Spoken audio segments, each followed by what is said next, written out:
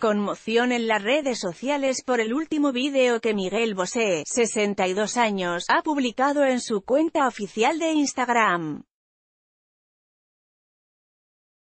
Con un mensaje simple, escueto y directo, el cantante desea, para todos un espléndido 2019 pero sus palabras se han posicionado automáticamente en un segundo plano dejando el protagonismo a una apariencia física bastante inusual, un aspecto demacrado, una mirada triste y una voz quebrada. Prácticamente rota, ver esta publicación en Instagram que venga lo mejor de lo mejor para este 2019. Que venga lo mejor de lo mejor para este 2019, firma el cantante bajo un vídeo de apenas unos 15 segundos que ya tiene más de 70.000 reproducciones y más de 1.300 comentarios. Entre los destacados, los que desvelan preocupación y se preguntan qué le pasa a la estrella de la música. Si bien es cierto, Miguel Bosé ha cerrado un año 2018 tremendamente complicado en lo referido a su ámbito personal. Su familia, compuesta por su exmarido Nacho Palau y sus cuatro hijos Diego, Tadeo, Ivo y Telmo se rompía hace unos meses de forma abrupta y con controversia añadida, quien fuera su pareja.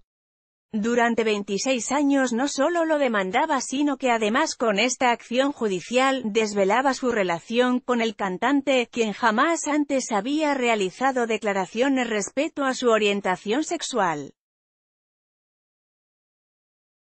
La actual situación por la que atraviesa, manchado de polémica y con varios pleitos judiciales por resolver, son precisamente la pesadilla de lo que un día Miguel afirmó que era su gran miedo. El intérprete de amante bandido siempre mantuvo que cuando tuviera hijos serían biológicamente suyos porque no quería que ocurriera lo que finalmente ha pasado en su relación, la separación de los hermanos. Un divorcio que vino precedido por una separación física que Jaleos publicó en exclusiva.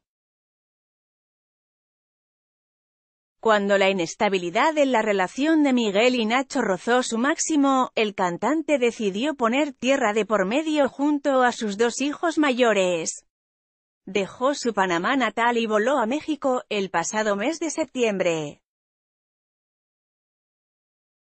Mientras tanto, Palau permanecía en España con los otros dos hijos menores, Miguel Bosé y Nacho Palau en una imagen del año 2011.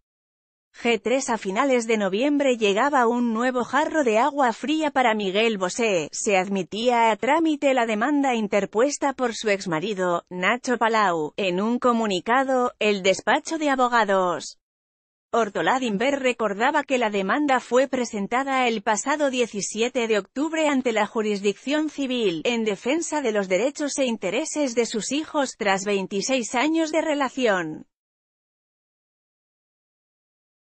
El bufete señaló que, en concreto, Nacho Palau pide acciones de filiación paterna no matrimonial con fundamento en la posesión de Estado, así como una acción acumulada para el establecimiento de medidas paternofiliales de hijos no matrimoniales. La demanda también exige una acción subsidiaria para el reconocimiento y fijación de un derecho de relación de allegados, y solicita Medidas cautelares para el establecimiento urgente de visitas y alimentos. Asimismo, los abogados valencianos de Palau indicaron que se había iniciado la reclamación en el orden social para obtener el reconocimiento y la determinación de los derechos que le correspondan a Nacho Palau a causa de su contratación en sociedades participadas y administradas por Miguel Bosé.